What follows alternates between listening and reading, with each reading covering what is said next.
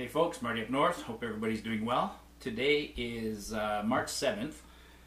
So I just want to do three quick videos. This is the first of three quick videos um, introducing three pieces of new gear that I'm uh, that I've purchased that I'll be using in 2020. So as many of you know, I'm not a big gearhead, but I do occasionally replace some gear. So the first gear that uh, this video is all about is the fact that actually uh, they've been. I'm going out tomorrow overnight, and people have been talking about the fact that uh, grizzlies have been spotted already in um, in Canmore and in areas. So some of the grizzlies are already coming out of their uh, annual hibernation. So good reminder to uh, start packing again your uh, your bear spray and uh, carry it with you as we approach real grizzly season. But the new piece of gear I have this year, it's just something uh, fun. Um, I, uh, I, I saw that uh, Ben at uh, Hilltop Packs was, you know, he posted on Instagram that he had some uh, packs that he was making where he was uh, printing on any images that you want. So I just thought it'd be fun. I ordered from him uh, one of the one of his large bear bags. This is the large one with uh, with a flat bottom, so this will hold at least uh, six or seven days worth of food. And uh, I just thought it was a really cool thing that it's uh, and, and it's got my logo on there, the Marty Up North logo, and apparently it's pretty permanent on there. So nice nice bear bag made of uh, Dyneema, so very lightweight, uh, waterproof, and he's got an abrasion uh, coating on there. So this paired up with you know 50 feet of nice high visibility. This is two millimeter rope.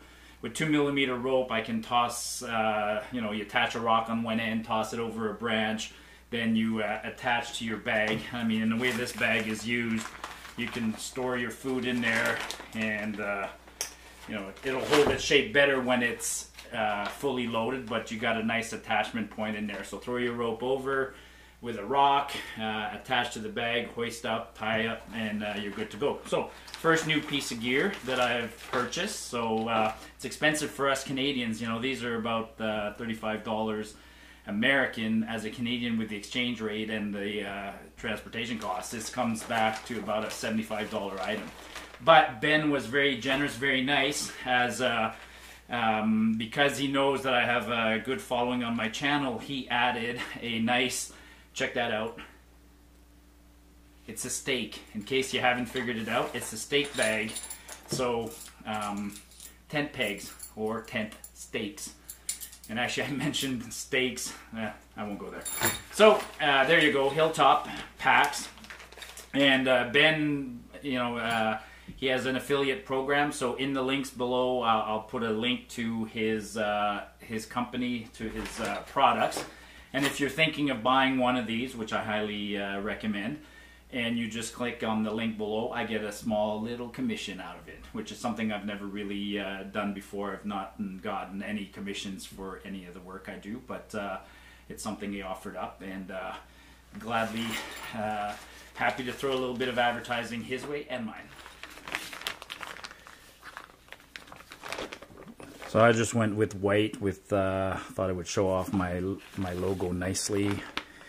Um, you know, great, great, great construction. Folded over a couple of times, stitched.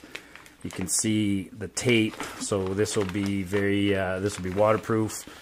Not that it's really critical for me. I I keep my food rationed in individual portions uh, in Ziploc bags in here, but. Uh, um, very nice bag.